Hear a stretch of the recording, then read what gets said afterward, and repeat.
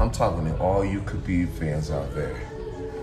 15 world titles to your guys' four. And you guys are really talking about who's the best fighter ever? You guys are joking, right?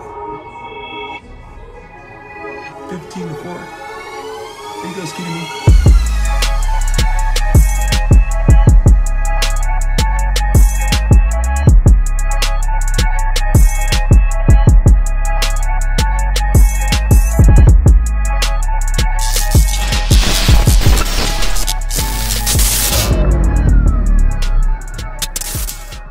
Yo. A ver, porque esta controversia sigue y sigue y sigue? Y yo quiero dar mi opinión con respecto a esto porque he visto mucha gente que le quiere quitar el mérito a John John. Dicen que John John ni siquiera puede entrar en la discusión del mejor de todos los tiempos porque John John se dopó. Esto es tan relativo como que hay que ver en qué punto podemos considerar que alguien sí o que alguien no. Por ejemplo, Nate Díaz dio positivo. Joel Romero dio positivo. Y por ahí para allá la lista es larguísima de los peleadores que han dado positivo unos por una cosa, otros por otra. John John en el tema de los picogramos. No se sabe si sí o si no, si qué fue, si qué pasó. Casos como por ejemplo el de T.J. Dillashaw. T.J. Dillashaw podemos considerarlo entonces como uno de los mejores en su división o no, porque estaba dopado o no. ¿Qué hacemos con esos casos? ¿Lo consideramos hasta el momento en el que dio positivo? De ahí para allá no, de ahí para... ¿Qué hacemos? ¿Qué hacemos con esa gente? Y es muy complicado porque hasta incluso GSP, por ejemplo, mucha gente me lo dice, GSP tenía una ginecomastia considerable. Israel Ensania no ha dado positivo hasta ahora, pero le salió una ginecomastia muy, muy, muy sospechosa. Y aquí lo que tenemos que ver es que hay gente que probablemente se hayan metido algo, pero no lo sabemos. No lo sabemos. Entonces, ¿cómo catalogamos quién es el mejor de la historia? ¿El que nunca haya dado positivo? ¿Ese es el mejor de la historia entonces? El que nunca dé positivo es el mejor de la historia, así lo vamos a catalogar. Yo, para mí, hay que mirar la categoría de los rivales, que esto es algo sumamente importante, la longevidad del peleador y cuántas peleas hizo durante esa longevidad. Porque si estuviste 10 años pero peleaste dos veces, no me vale demasiado. No sé si se entiende lo que quiero decir. Si vamos al caso de John John, por ejemplo, John John tiene 26 y 1. 26 victorias, una derrota. Khabib tiene 29 y 0. O sea, están ahí, ahí. Ahora, lo que hay que ver también es calidad de los rivales. Khabib se enfrentó contra la creme de la creme todo el tiempo. Todos los peleadores que le tocaron a Khabib, prácticamente ninguno era un pancito. Todos eran difíciles, difíciles. Hasta Gleison Tibau, que mucha gente piensa que no, era fuertísimo y era un brasilero muy difícil. Muy difícil. Khabib y John John, yo diría que en la calidad de peleadores que enfrentaron, están ahí, ahí. Yo diría que están ahí, ahí. Ahora, la calidad de las victorias, porque esto es lo que mucha gente va a ver también. Por eso, yo considero que en este momento está bien poner a Khabib en el pound for pound, o sea, en el libra por libra, yo creo que está bien poner a Khabib como el mejor ahora mismo, porque John John estuvo con bastantes problemas para ganar sus tres últimas peleas. John John la tuvo negrita para ganar sus últimas peleas. Y Khabib paseó la distancia en esas últimas peleas. Y lo acepto. O sea, a día de hoy, libra por libra, yo no veo más que pongan a Khabib en la cima libra por libra. Aunque pudiéramos poner por ahí también a Amanda Nunes, por ejemplo, en la cima del libra por libra. Pero no me voy a meter en esa discusión. Vamos a dejar que Khabib es el número uno libra por libra y que John John es el número dos en este tiempo. Pero poner a Khabib por encima de John John y por encima de GSP, a mí, a nivel histórico estoy hablando, a mí me rechina. Y me rechina muchísimo. Y para los que están pensando, no, porque John John, que nada más que le cuesta trabajo ganar sus peleas, cuando John John llegó solo con 23 añitos, molía, molía y la gente estaba desesperado por ver a John John pelear. John John la primera victoria que tuvo por el campeonato fue contra Shogun Rua, contra Mauricio Shogun Rua y le ganó a Rua bien, pero bien, bien, bien, paseando la distancia. A partir de ahí, a John John le tocaron cuatro campeones más. Cuatro campeones más.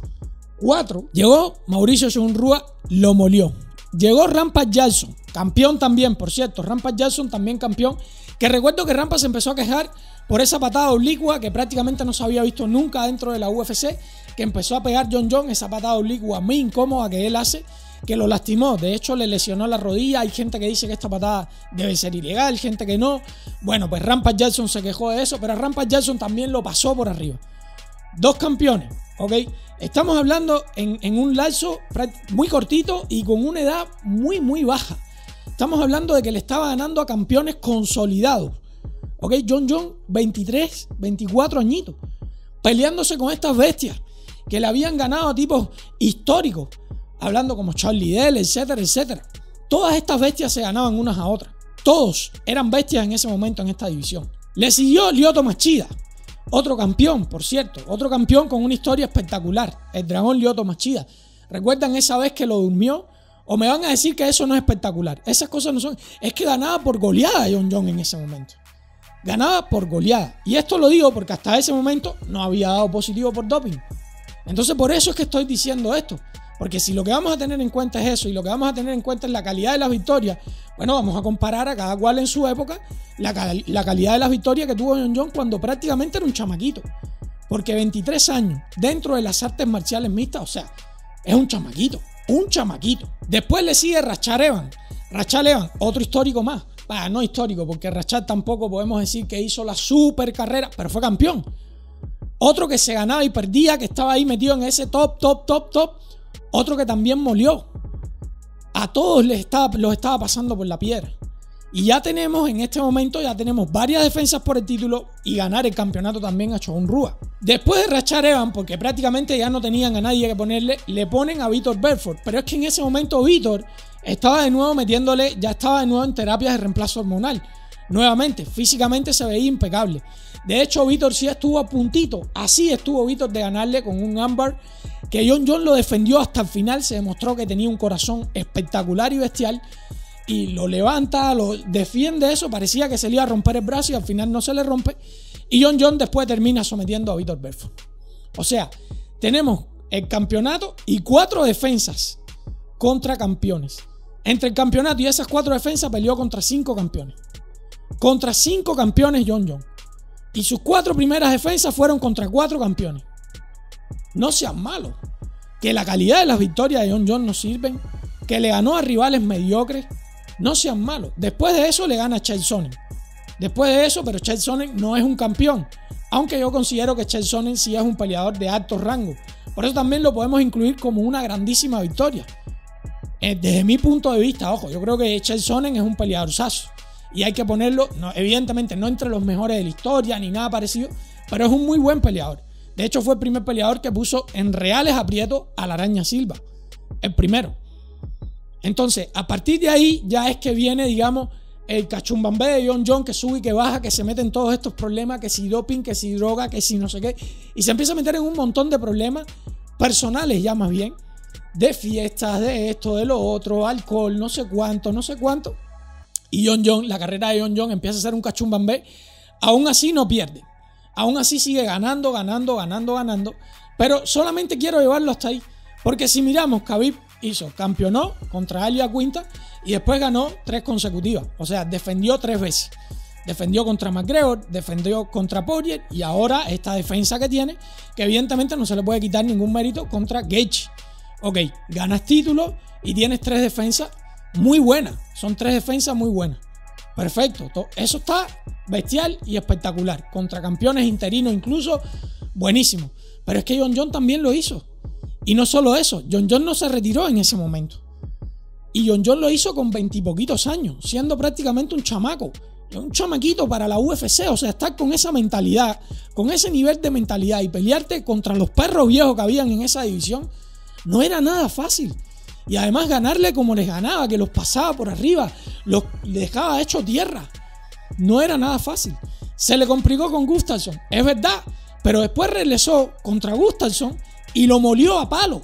Después regresa contra Gustafsson y lo muele a palo también. Claro que aquí entra el tema de doping, etcétera, etcétera. Pero es que hasta GSP también tuvo problemas en algunas peleas. De hecho, GSP llegó a perder. Por eso, desde mi punto de vista, esta discusión de que si John John sí, que si John John no, Entiendo que alguna gente se ha molestado diciendo no, porque John John ahora tiene que salir con esto, con esta discusión. Pero claro, si es que tú te metes toda una vida, prácticamente ya una década, solo John John solo tiene 33 años, ojo. Khabib se está retirando con 32. John John tiene un año más, pero tiene 14 defensas por el título. 14 defensas por el título, gente. 14 que sí, que por ahí, por en medio, le meten el doping y todo eso. Bueno, vamos a analizar entonces las primeras defensas. Vamos a analizar a ver si es comparable o no. Si esta es una división de las más difíciles que hay.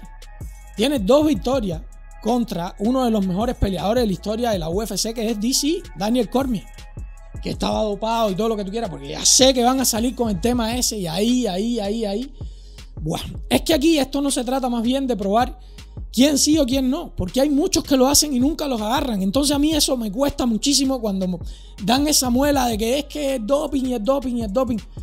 A mí esto me parece una doble moral terrible, terrible. Yo creo que John John, desde mi punto de vista, ojo, es el mejor de la historia. Y tengo que decir que no es un peleador de mi agrado. A mí me agrada mucho más Khabib y creo que es evidente en mis videos. A mí me agrada mucho más Khabib que John John. Pero es que sería quitarle el mérito a John John. Sería quitarle el mérito de estar 10 años consecutivos como campeón. Como campeón. Y si ahora regresa a los pesos pesados y llega a ganar en los pesos pesados, ya ni te cuento. O sea, vamos a seguir en esta discusión y en esta... Yo, yo no lo entiendo, la verdad.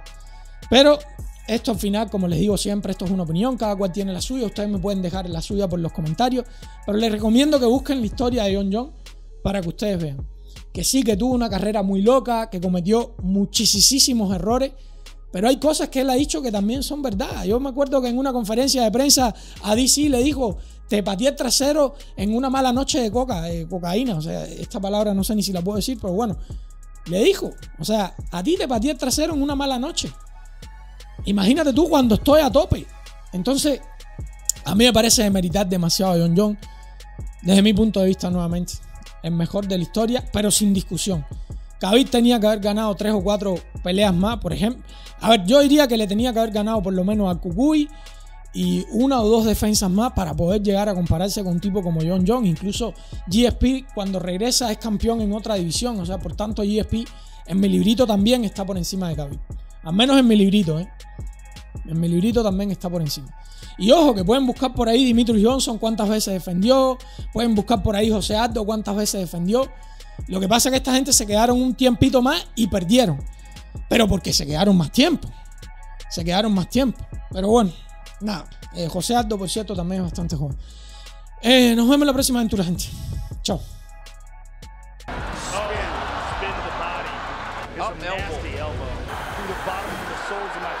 May have lost his title.